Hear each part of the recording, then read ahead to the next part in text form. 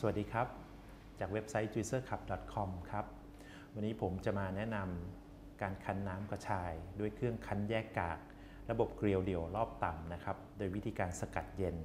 เป็นเครื่องยี่ห้อออสการ์รุ่น DA 1000 นะครับ ก่อนที่เราจะมาคั้นน้ำกระชาย เรามาทำความรู้จักกับกระชายกันก่อนนะครับ กระชายเนี่ยถือว่าเป็นโสมของเมืองไทยนะครับเเป็นราชาแห่งสมุนไพรนะครับ ในกระชายมีวิตามินซี มีวิตามิน B1 B3 B5 และมีแคลเซียมนะครับสรรพคุณของกระชายที่สำคัญสำคัญมีดังต่อไปนี้ครับสรรพคุณอันแรกก็คือช่วยบำรุงกระดูกให้แข็งแรงนะครับสรรพคุณลำดับที่ 2 ก็คือ ช่วยให้ตับไตกระเพาะปัสสาวะมดลูกนะครับและหูรูดต่างๆ แข็งแรงนะครับสรรพคุณข้อที่ 3 คือช่วยบำรุงหัวใจ ช่วยทำให้กล้ามเนื้อหัวใจแข็งแรง ทำให้เลือดหมุนเวียนในหัวใจได้ดีขึ้นนะครับ แล้วก็ทำให้การเต้นของหัวใจเนี่ยสม่ำเสมอนะครับสรรพคุณข้อที่ 4 ครับ ช่วยปรับสมดุลฮอร์โมนทั้งท่านหญิงและท่านชายนะครับ ในกรณีของท่านหญิงเนี่ยช่วยปรับฮอร์โมนเอสโตรเจนนะฮะถ้าเผื่อท่านมีฮอร์โมนเอสโตรเจนมากเกินไป ท่านจะมีความภาวะเสี่ยงกับมะเร็งเต้านมนะครับ แต่ถ้าท่านมีฮอร์โมนเอสโตรเจนน้อยเกินไป ท่านจะมีภาวะเสี่ยงกับ มะเร็งปากมดลูกครับสำหรับในท่านชายครับก็ช่วยปรับสมดุลฮอร์โมนเช่นเดียวกันครับจะช่วยไม่ให้ต่อมลูกหมากโตนะครับลดภาวะความเสี่ยงต่อต่อมลูกหมากโตนะครับสรรพคุณข้อที่ 5 คือช่วยบำรุงสมองนะครับ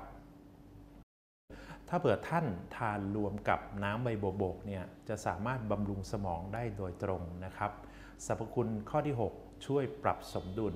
ด้านความดันในร่างกายนะครับ เครื่องที่จะคั้นแยกกากเจ้ากระชายเนี่ยนะครับเป็นเครื่องออสการ์รุ่น DA 1000 นะครับ เครื่องนี้ดีอย่างไร เครื่องนี้ทำงานด้วยรอบต่ำนะครับ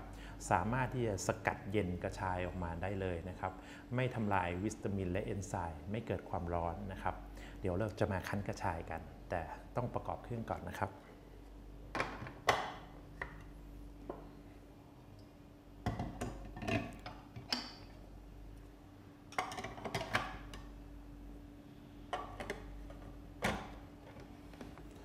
สำหรับท่านที่มีเครื่องออสการ์รุ่น DA 1000 อยู่แล้วนะครับตัวหัวปรับแรงดันกากเนี่ยจะมี 5 ระดับนะครับ ผมแนะนำว่าใช้ระดับประมาณสักระดับ3เนี่ยกำลังดีนะครับสำหรับคันกระชาย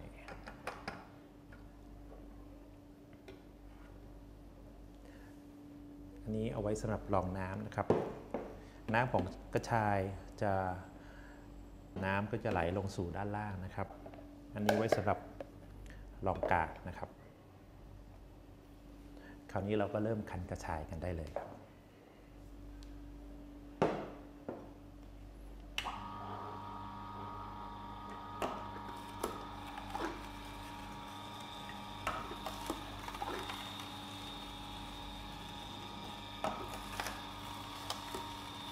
ก็ทยอยใส่กระชายหนึ่งทีละสักสองสามก้านก็ได้นะครับ แล้วก็ ใส่ช้าๆ ค่อยๆ คั้น ค่อยๆ กดไปเรื่อยๆ นะครับ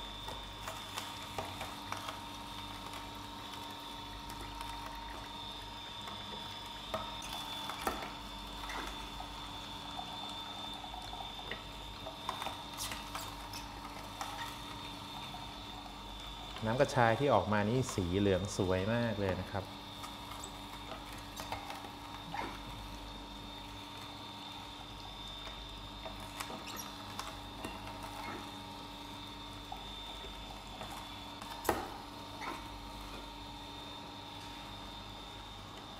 ถ้าจะสังเกตว่า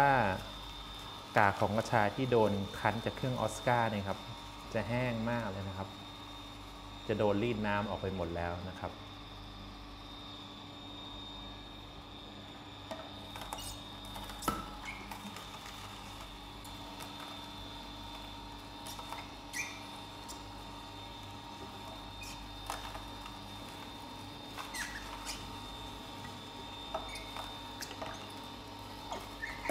เมื่อท่านใส่กระชายชิ้นสุดท้ายลงไปนะครับ ช่วยปั๊มน้ำสัก4-5หครั้งนะครับ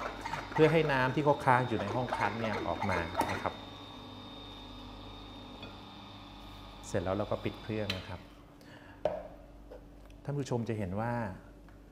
กาของกระชายนี่แห้งมากนะครับ โดนรีดออกมาหมดจดจริง ๆนะครับ ไม่มีน้ำเลยครับ ไม่มีน้ำเลยนะแห้งมาก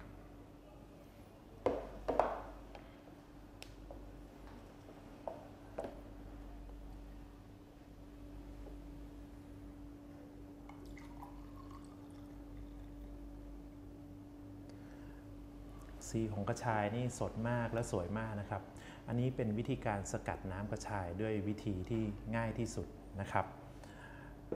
โดยปกติแล้วเนี่ยน้ำกระชายเนี่ย